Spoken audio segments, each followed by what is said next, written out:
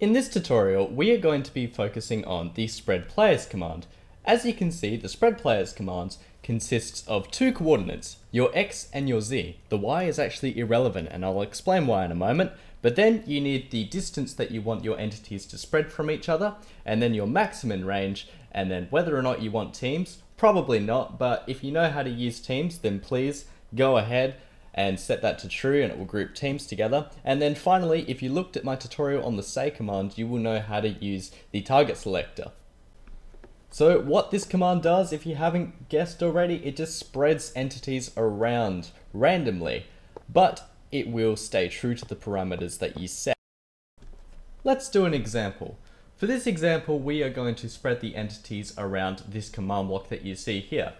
Now for our first coordinate, we're going to need the x as you can see in this number, and then the z as you can see in this number here.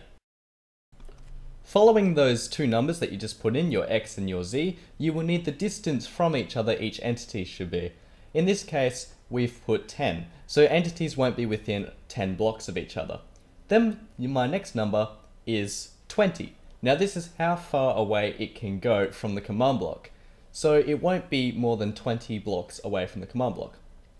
Now I've written the word false, and that just means don't group teams together. If you put true, then it will group teams together. If you don't know how to use teams, don't worry, I'll cover it in another video. And then finally, you want to specify the entity that you actually want to spread. You can spread players, as seen in the command, but in this instance, we are going to go at e type equals armor stand, which means it will only spread armor stands. If you don't know what I mean, then please check this link in the description or on the annotation on the screen. So, upon activation, the 16 armor stands you see in this video will be spread 10 blocks away from each other but within 20 blocks of the command block, and they won't be grouped in accordance to their teams. I've also attached a chain command block which is always active. Now if you don't know what I'm doing here then please see the tutorial that I put right here and then I'm going to write in a complicated command, which is a new command we haven't seen yet. If you don't understand what I'm doing, don't worry, all it's doing is making the armor stands place a colored wool below them after they've been spread, just for visualization purposes.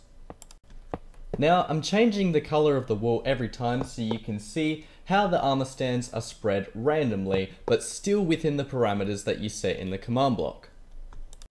Let's increase the maximum range to a whopping 60 and change the color of the wool to white and then change that impulse command, the orange one, to a dark blue or purpley color so it will run 20 times per second as long as there's a redstone block on it. This way you can see the difference that the maximum range makes. One last thing to note is that when the spread players command is used, the entities will always be on the highest point of the x and z coordinates. So it's going to pick the top block, always going to be on the surface. Another rule is that the players will never ever be spread onto blocks such as water or lava. So bear that in mind when using this command. So thank you everyone for watching this new style of how commands work. This was inspired by the Redstone Scientist. Yes, that's how he pronounces this name. You have to pronounce it like that, otherwise it's offensive.